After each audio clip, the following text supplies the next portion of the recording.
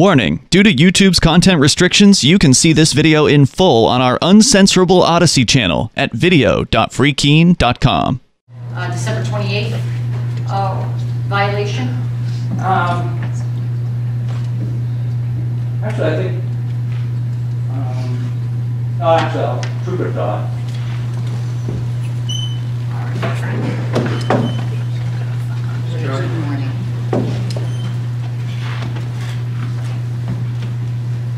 Will be brief, actually. Um, swear to affirm about the evidence received with the whole truth, nothing else. but the truth. I do.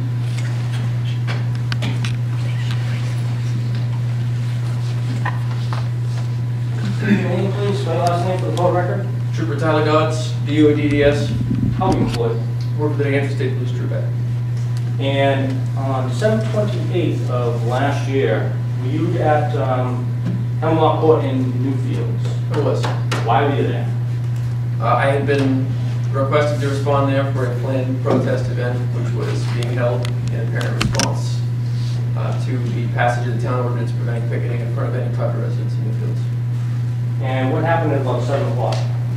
About seven o'clock, uh, we began to have the arrival of a group that planned to show up for that protest. The first uh, vehicle being uh, three individuals, one of whom is Mr. Staples. Seen in the courtroom today? He is the seat of defense Staples.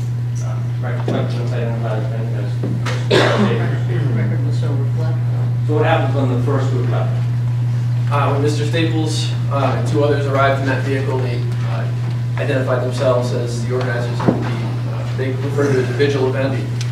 Uh, Myself and Officer Strand approached them and uh, explained the enforcement of the ordinance and how it would be that night based on guidance we received from the state AG's office. Uh, Specifically, that remaining in front of uh, any specific residence or repeatedly passing in front of any specific residence would constitute picketing uh, in accordance with the ordinance. And so what is, what was their response? Uh, They initially indicated that they were going to cancel the event, uh, then mentioned doing a march of some kind. Uh, There was some conversation about that, and then they indicated that that would be the plan, was to cancel the event. At that time, myself and Officer Strand returned uh, to a staging position.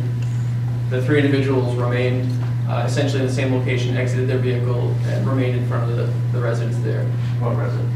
Uh, That would be um, 71 Hemlock Court, it's in the cul-de-sac circle in front of the governor's home. Oh, and so they stayed right in front of, they weren't on the property, but they were in the cul-de-sac right in front of 71 Hemlock Court. Correct, and um, just for clarity's sake, this is a group that I was familiar with previously for protests at that location specifically. Okay. So then, you know, After a few minutes, um, it became clear that uh, this group of individuals was not leaving. Uh, Myself and Officer Strand reapproached them and um, again attempted to cite them or to warn them initially under the ordinance. Uh, There was some rigorous debate over whether or not they believed the ordinance was constitutional. And ultimately, Mr. uh, Bennett, who is uh, another individual who was there, was cited. Uh, Both individuals were told they would be cited, however, due to the back and forth, and the amount of time it took um, to get Mr. Bennett cited, originally it was only him that was cited at that time. However, it was the feeling of both myself and Officer Strand that both individuals at that point had uh, violated the ordinance. As we were discussing um, or or dealing with this ordinance with Mr. Bennett, who was there, additional protesters arrived and parked in the area and grouped up around us. Um, When Mr. Bennett was issued a summons, the entire group again was warned uh, by the, about the ordinance. The group briefly left the circle for a period of less than five minutes, returned to the circle again, um, again passed in front of the governor's house, and was stopped uh, going up a path adjacent to the governor's home. At that point, the entire group was uh, summoned under the ordinance, including uh, Mr. Staples. okay. Nothing? Thank you. Cross-exam? Hmm, yes.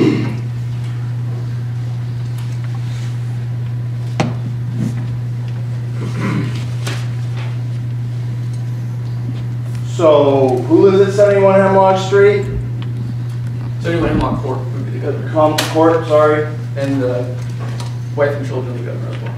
The governor, Governor Sununu, public official, correct? That's correct.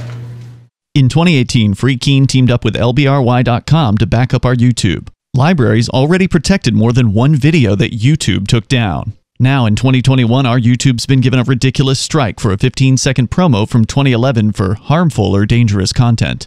LBRY doesn't have strikes or any way to take down videos. Our days are numbered on YouTube. Get the app at lbry.com or follow our channel on LBRY's new platform Odysee at video.freekeene.com.